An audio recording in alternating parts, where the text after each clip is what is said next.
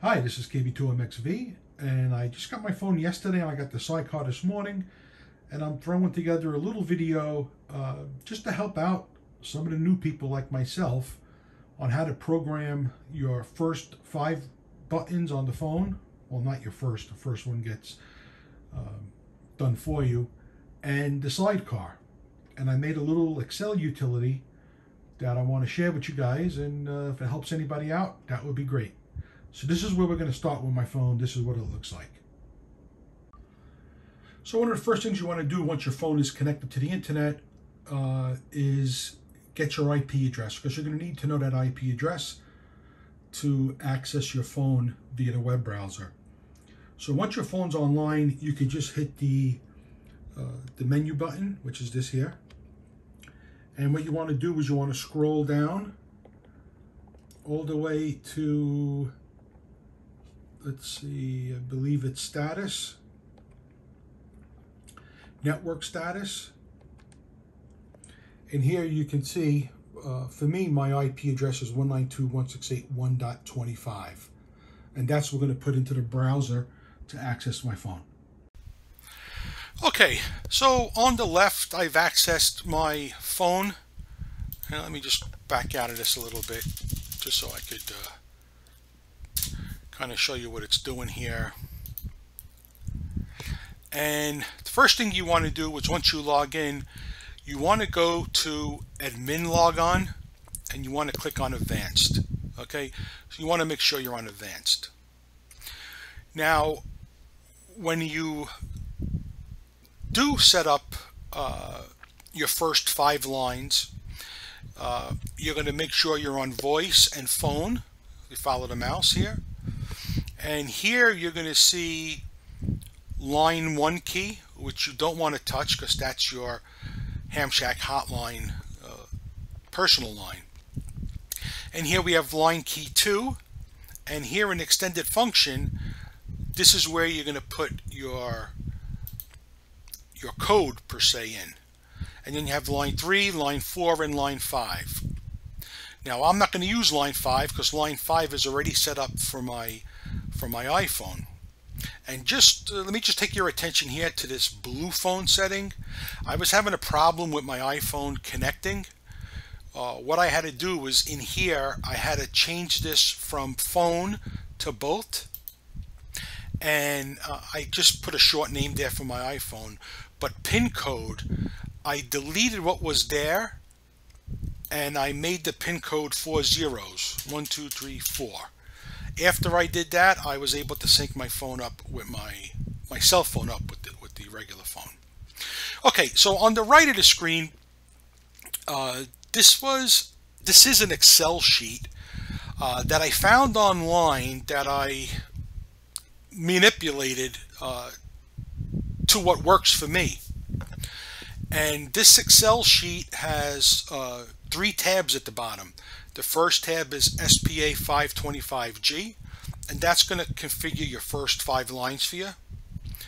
Uh, the second one is a sidecar, and this is going to program up your sidecar stuff for you. And the third tab is going to sh show you how uh, you can program one of your sidecar buttons to make an outside call using your cell phone if you have that option uh, working. So what, what I set up here was, so again, we're not doing anything with line 1. So we have line 2, 3, and 4. And I'm not going to use line 5 uh, because I have the Bluetooth set up. So the instructions say, enter Hamshack hotline number and name. Do not change line 5 if you have your cell phone linked up to Bluetooth. So what I'm going to do here is I'm going to I'm just going to put in any number here. Uh, 5, 5100. Uh, here I'll put 5600. And for the names, I'm just going to, I'll just leave them as public. And if you notice here on, on the right, this is going to be the, the uh, cells that you're going to copy into the extended functions. Uh, and if you notice, uh, line two's uh, line is 5100 I'm dialing, but if you look at the text, it still says 300. You notice that here and here? So what happens is once you click this purple button, you're going to see the fields change. So what I want to do is I'm going to put this back to 300 and uh, line public is line 2 is I want to say 302 I believe okay? So once you have these names populated like you want you're going to click the purple button. Now line 2 is set up. So what I'm going to do is I'm going to click into this box. I'm going to right click and hit copy. I'm going to go to line key 2 right? Because number one is your personal. I'm going to go to line key 2 and in here I'm going to paste control V the information for line 2 I'm going to go back here. I'm going to click on the second box. I'm going to right click and go copy and I'm going to paste that into line 3 and then I'm going to take line 4 I'm going to copy and I'm going to paste that into line 4 now you want to leave the extension set as disabled. Okay, keep them all disabled. And sh share call appearance, I have them all set up on private and it seems to be working fine. So once you have this information in, you want to scroll down to the bottom of the page and you want to hit submit all changes. So let me uh, get my other camera ready on my phone because I want to show you what happens to the phone when you hit submit all changes. So here I'm going to hit the button submit all changes.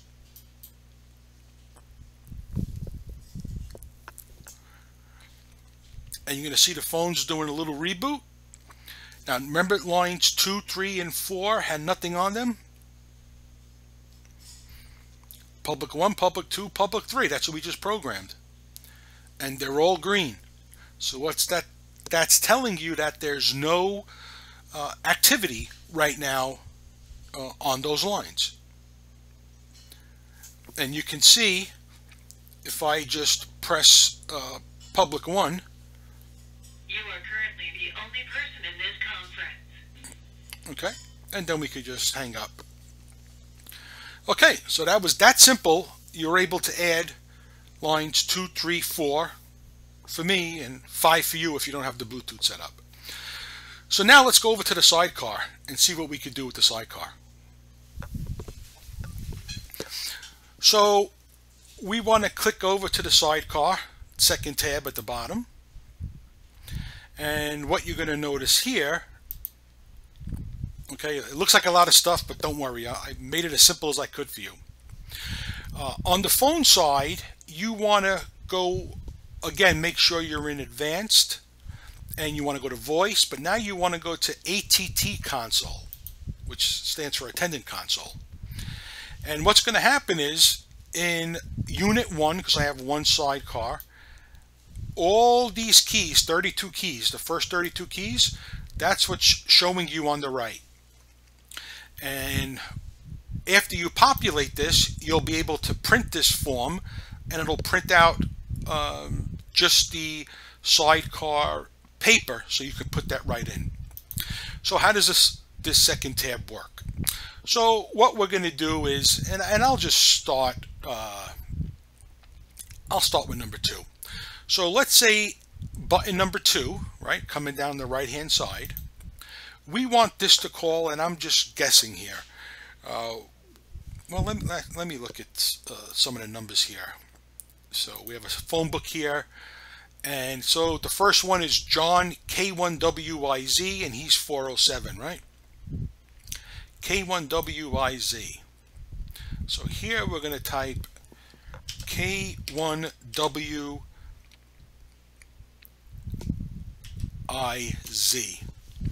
And his number was, he was number 407. So I'm just going to put 407 okay for, for key 2 now like I said if you look at the data for key 2 it doesn't match what's here but it will after we press the calculate column F button. And let's go add one more person and you'll get the idea. Um, we'll just do two buttons for now. And let's go down the list and let's go do, um, you know what, let's do Mason. So here we're going to do Mason and his extension is 5816. Okay, so that's all we did 5816 button 1 and 407 on button 2. Now when I hit this calculate column F, watch what's going to happen to the to demo 1, demo 2 and line 1 and 2 or, or extension 1 and 2. That's all going to change. So you're going to hit calculate column F and here's the new data. So what we want to do is we want to click for button 1, highlight it. We're going to go copy and over on the interface side on the unit 1 key 1 I'm going to type in I'm going to paste in what I just copied. And now I'm going to go grab the data for the second column or for the second button I'm going to right click and go copy and I'm going to put that on button 2. Okay, so button 1 is Mason, button 2 is K1WIZ.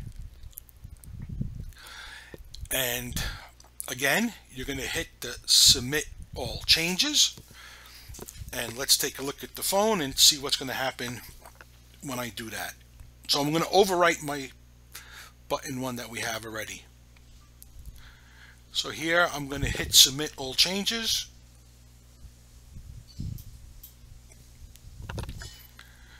All right. And the phone's doing a little reboot. And lines one and two should light up on the sidecar. Okay, so now they're showing uh, they're lined up. Now I can just press one of these buttons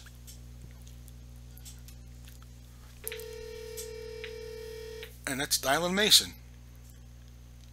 Okay. And it flashes red when you're using that line or using that dial. Okay, so we'll just hang up from there. Okay, so we got the five buttons on the phone programmed. We just programmed two buttons on the, the sidecar. And uh, let me show you one more function. So staying back on voice and uh, attendant console here, the third uh, tab here, dial outside line, so what we're going to do here is we're going to put in an outside line number. So let me get somebody and let's go uh, ham radio outlet. Okay. So the name we're going to say HRO Delaware and their phone number is 302 332 7092. And what's going to happen here, once you're done, you're going to hit the button, click to create extended function. And when you hit that, there's your text that you want to copy. So I'm going to take this text, I'm going to copy it just like we did on the previous page. And I'll just put this on button 32 at the bottom here. Right click, and we're going to hit paste. And again, we're going to do a submit all changes. Okay, changes were submitted. You see the sidecar lights went off. The phone's doing a little reboot of itself. And now the bottom right is going to be my outside line. Okay.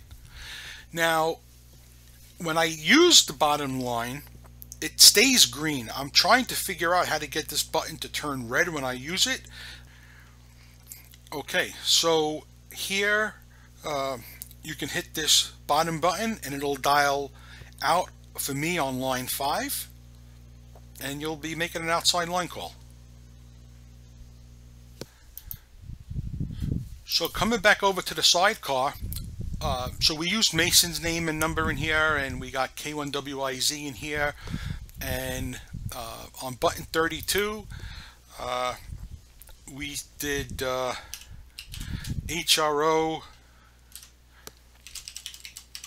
Delaware. Now I'm not worried about uh, this calculation for button 32 when I'm putting in here uh, because we've already programmed that for an outside line so we already took this so what happens here is we're going to hit file print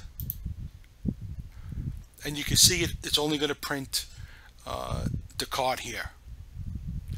So you can print that right out and put that right on your phone. All right I hope this helped a few people. Uh, this is KB2MXV